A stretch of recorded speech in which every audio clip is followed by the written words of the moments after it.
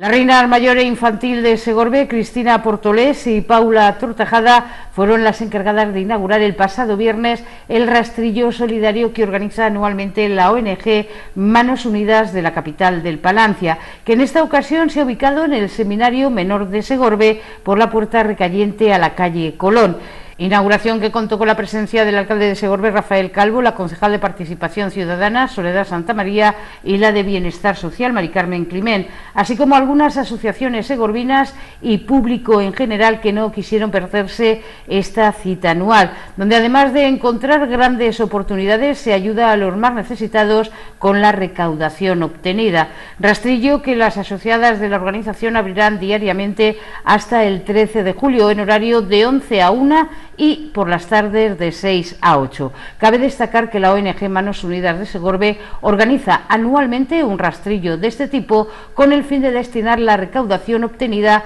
a proyectos solidarios. En esta ocasión, la Mesa de Solidaridad de Segorbe, integrada por la ONG Cruz Roja, Cáritas, Manos Unidas, Asociación Fray Luis Amigo y Concejalía de Bienestar Social, hacen un llamamiento a la población de Segorbe para la donación de alimentos. Los alimentos serán no perecederos con una fecha de caducidad no inferior a seis meses, siendo imprescindible que aparezca marcada y de forma visible la fecha de caducidad. Los alimentos podrán depositarse en las dependencias del seminario por la entrada de la calle Colón hasta el 13 de julio, en el rastrillo que organiza Manos Unidas, aunque el destinatario será Caritas Interparroquial de Segorbe, que se encargará de su distribución y entrega a los interesados.